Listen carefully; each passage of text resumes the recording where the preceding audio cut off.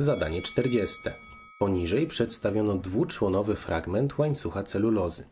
Mamy tutaj ten fragment pokazany. Celuloid jest tworzywem otrzymywanym przez reakcję celulozy z kwasem azotowym 5, w wyniku której estryfikacji ulegają dwie grupy hydroksylowe każdej jednostki glukozowej, połączone z, i tutaj ładnie podkreślone, drugim i szóstym atomem węgla jednostki glukozowej. Uzupełnij poniższy schemat tak, aby otrzymać wzór jednoczłonowego fragmentu łańcucha opisanego diazotanu 5 celulozy.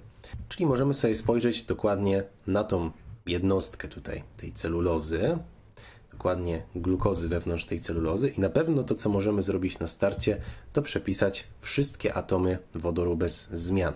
Czyli wodór tutaj, tutaj, również w tym miejscu, w tym miejscu i tutaj mamy jeszcze na pewno grupę CH2. W pozostałe miejsca możemy sobie wpisać jeszcze tleny, bo one na pewno wiemy, że będą się tutaj znajdować. Aha, jeszcze wodór tutaj w tym miejscu, dokładnie tak jak jest to rozrysowane na wzorze powyżej. Tu jeszcze mamy jeden tlen.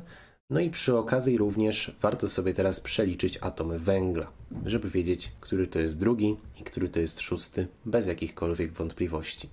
Mamy pierwszy, czyli ten anomeryczny w glukozie, drugi, trzeci, czwarty, piąty i szósty. No i jak widzimy, drugi i szósty ma ulegać estryfikacji z kwasem azotowym 5, czyli dopiszemy tutaj resztę, tak jakbyśmy kwas azotowy 5 pisali bez jednego wodoru i jednego tlenu, czyli to będzie po prostu NO2 zamiast HNO3. Przy drugim atomie węgla coś takiego mamy zapisać i przy szóstym atomie węgla, czyli tutaj również będzie ONO2. Natomiast przy trzecim atomie węgla wszystko pozostaje bez zmian i tutaj mamy grupę hydroksylową.